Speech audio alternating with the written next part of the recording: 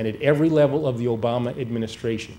my colleagues and I have made a steadfast commitment to doing everything in our power to reduce gun violence, keep deadly weapons out of the hands of those not allowed to possess them, and to make our neighborhoods and schools more secure.